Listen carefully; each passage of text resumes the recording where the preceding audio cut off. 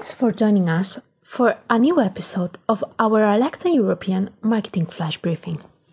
We'll be updating you on the latest status of voice commerce, especially relevant with the growth we've seen in e commerce this year.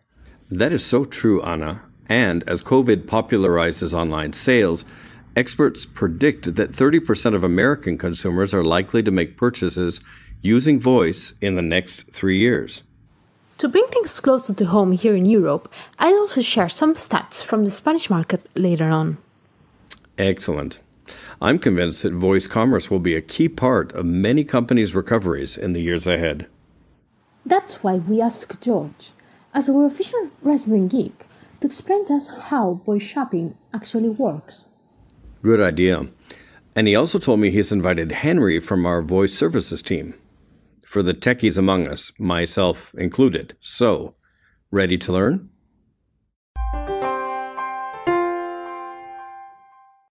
The following content is brought to you by Derby Hotels Collection, European luxury hotels.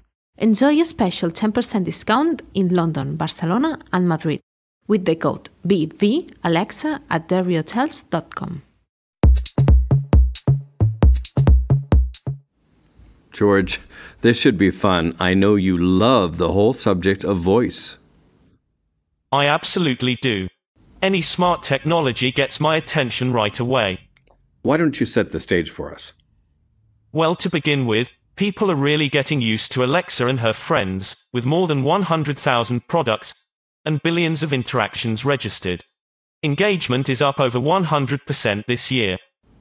That sounds good. Yet, I've also heard that the development of voice apps skills has been slowing. VoiceBot.ai reports a 38% decline compared with 2019 and minus 71% versus 2018. That's right, Paul. Clearly 2020 has been a year of threats, with many businesses in survival mode. Hence the development delays. However, the crisis also brings opportunities. I, for one, prefer to see the proverbial water glass half full, rather than empty. I couldn't agree more, George. The American refrain, necessity is the mother of invention, should bring about even more innovation in the coming year. Let's look at that together in the next two segments.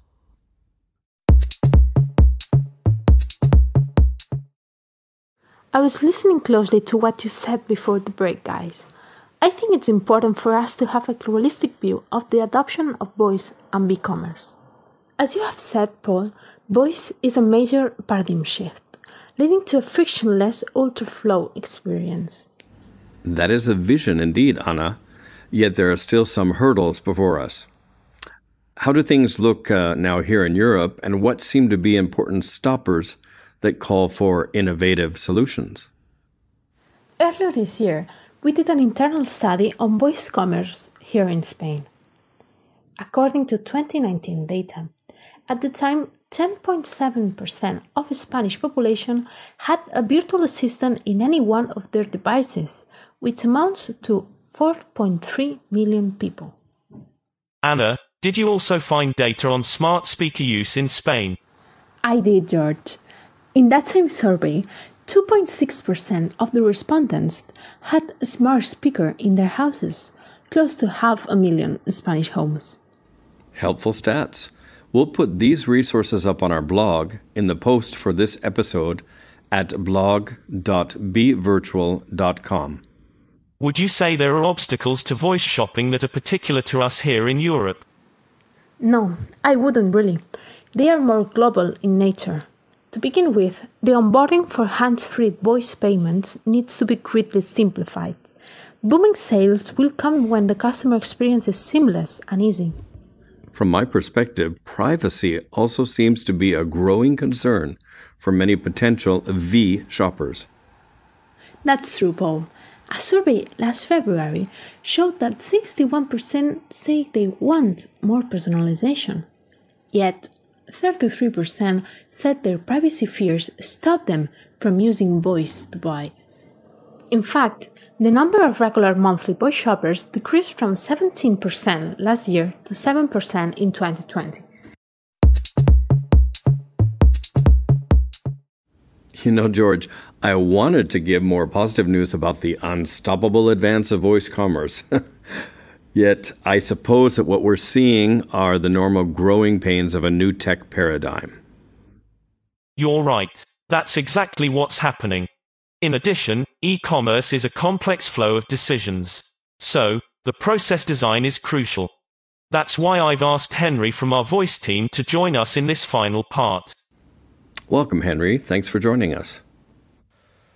Happy to be here. Cool studio, by the way. It's cozy. Now, when we talk about something as important as reinventing digital commerce, I truly feel that the UI and UX are both super important. As always, in the end, the user decides. Henry, why don't you focus on two areas for those listening? First, exactly how voice shopping works. And second, how we should design voice apps for v-commerce. Skills, as they're called with Alexa, or actions, as Google calls them. Sounds good. So, how does it work? I'll focus on Alexa. To be able to shop by voice, the skill needs to support Amazon Pay. This service is built in if a customer already has an Amazon account with her payment details. I've seen Amazon Pay buttons on desktop and mobile as well. Exactly.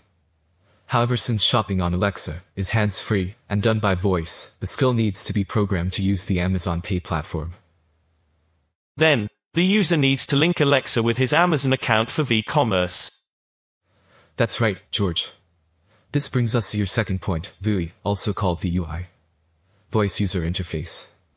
Oh boy, another acronym, just what we needed. This is where things get interesting. How is a voice commerce experience designed? The most important concept is that the voice purchase funnel shouldn't be designed as a flowchart, but instead as a step-by-step conversation with Alexa. What we do is to design cards based on situational design, which is a voice-first method. Each card includes what the user requests by using a launch word, for example, ask, find, order, followed by Alexa's answer and further drill down questions. It seems to me that you are basically storyboarding the conversation, as it were. Guys, so so sorry to break in, but I fear we're out of time. Henry, this is incredibly interesting. We'll have to have you back. My takeaway on what you've said here is that v-commerce is inherently conversational and therefore user-centric. I know you've also put up more for our listeners on our blog, useful links, videos, stats, and other resources. Yes, there's a really great video from Amazon, as well as very helpful graphics that break down the key elements of a voice user interface. Very cool, Henry. Thanks again to both of you. And as we sign off, we wish all of our friends around the world very robust sales in this important fourth quarter. Talk to you again in December. And just a quick note for our listeners, we'll be back again very soon with more innovation in European marketing on our Alexa Flash Briefing. Uh, I also hope that you'll uh, be sure to join us uh, at the blog at blog.bvirtual.com. Look for the Alexa section, and uh, that's where you'll find many of the resources, not only for this particular episode, but for all of the previous episodes. So goodbye and talk again soon.